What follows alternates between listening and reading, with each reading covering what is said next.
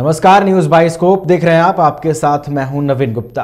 पूर्व केंद्रीय मंत्री आरसीपी सिंह ने जातीय जनगणना पर सवाल उठाया है। उन्होंने जानना चाहा कि इसके पीछे उद्देश्य क्या है। इसके साथ ही उन्होंने मुख्यमंत्री नीतीश कुमार की समाधान यात्रा पर भी संदेह जताया है।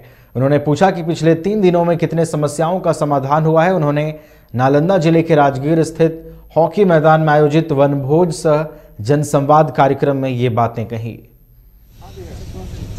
का हार्दिक स्वागत अभिनंदन। है सभी से बरौनी से प्रेम लता जी समस्या क्या है?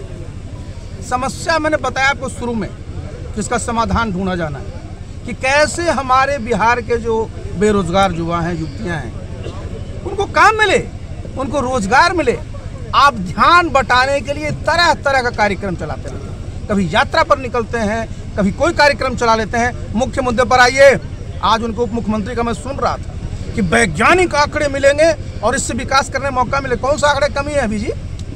कौन से आंकड़े कमी है?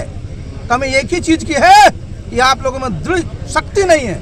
आप सब लोग अपनी कुर्सी बचाने में लगे हुए हैं। बिहार से कोई लेना देना आपको नहीं। सर ये मानते हैं कि जातीय जनगणना में जो पैसा सरकार खर्च कर रही है वो बेकार। देखिए मैंने क्या कहा आपको? हमने कहा, मुद्दा क्या है अभी? मुद्दा सबसे बड़ा मुद्दा है बिहार। बिहार आज भी, आप जरा सोचिए, प्रति व्यक्ति आए, सबसे पीछे हम हैं। ये मुद्दा नहीं है क्या? इस मुद्दा पर कोई बात हो रही है? तो लोगों का मन को आप जानते हैं, बिहार तो आप जानते हैं, यहाँ जाति धर्म का रोज खेल खेलते रहते बता दें नीतीश बाबू कि इस जातीय जनगणना करा लेने के बाद बिहार की जो समस्याएँ हैं, वो समाप्त हो जाएगी? नहीं। वो सिर्फ़ ध्यान बांटने के लिए कि युवा उनसे पूछे नहीं। अब बताइए साहब एसएससी के बच्चे जाते हैं, वहाँ पर आपसे प्रदर्शन करते हैं, आपकी लाठी चलवा देते हैं। यही रह गया है। तो देखिए, लोगों का ध्यान बटाने के लिए एक से एक हथकंडे अपना रहे हैं.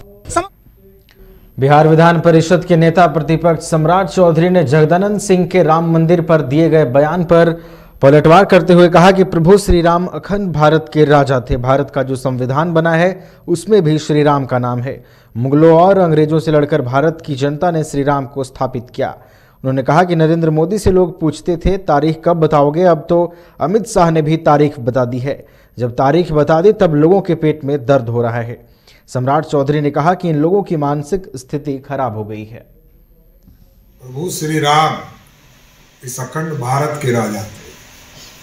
और जो भारत का संविधान बना, उसमें भी प्रभु श्री राम थे।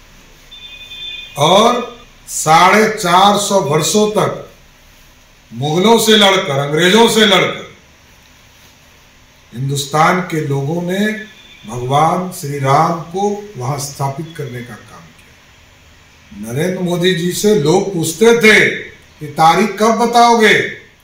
अब तो तारीख अमित शाह जी ने बता दिया।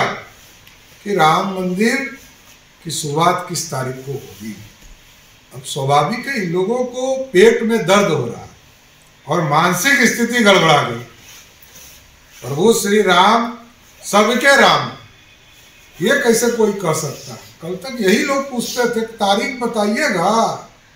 अब ये तारीख बताने वाले नहीं है, क्योंकि राष्ट्रीय जनता दल के नेता लालू प्रसाद की उत्पत्ति मुख्यमंत्री के तौर पर तो भाजपा के सहयोग से हुआ। तब भी हमारा एजेंडा था प्रभु श्री राम का राम मंदिर, और आज भी एजेंडा है हमारा प्रभु श्री राम का राम राम मंदिर। तो कल क्यों शर्म लग रहा था? जब 1990 में लालू प्रसाद जी मुख्यमंत्री बन रहे थे, तब याद नहीं था कि भाजपा का एजेंडा राम मंदिर है। भाजपा का क्यों समर्थन लिया? भाजपा की कृपा से लालू और नीतीश दोनों बिहार की गद्दी पर बैठे। इन लोगों को सब